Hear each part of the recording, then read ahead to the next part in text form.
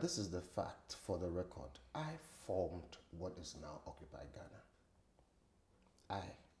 You, Kofi Bentil, you formed Occupy Ghana. I formed what is now Occupy Ghana. And not not Ace Ankomah, as many have been No, led no, to no, no, believe. no, no, no. Ace Ankomah, did- in fact, Ace Ankomah joined after.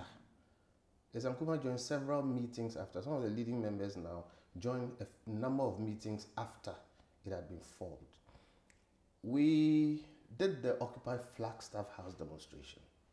It was organized by lawyer Nana Akwesi Wa and his friends called uh, CGRG, Concerned Ghanaians for Responsible Governance. It was those young men, Nana Kwesi Wa, Rodney, you know, uh, people like um, um, Ajiman Bedu, Nana Sapong, Yeah. you know, and uh, a couple of other people, you know, very young people. Um, they called me some days before the demonstration, and Nana Kwesi, for instance, I used to work in the same law firm with him. He said, "Oh, Mr. Bentil, please join us." I gave it a thought, and I get many invitations to do this or that. And in this particular case, it resonated very well with me because I'd gotten to a point around that time. And if you remember, dumsor was terrible. The government was just not performing. Everything was just going bad. And at Imani, we had seen some of these things. We wrote a paper called The Threat of Decay. At the, when the government was coming into power, we wrote it. If you Google it, you find the threat of decay.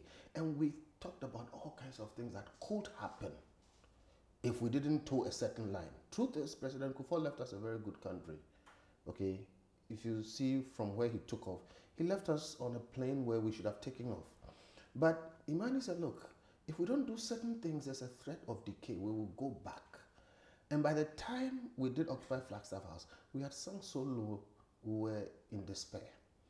And the reason why I joined um, Occupy Flagstaff House and really used my platform on Facebook and social media to ask many of my friends to join, and many of them joined, was that at Imani at the time, we were the number two think tank in Africa. We were clearly number one in Ghana.